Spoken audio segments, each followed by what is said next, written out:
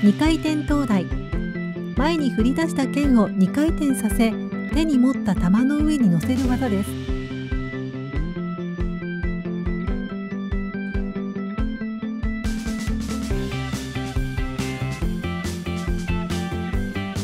やり方。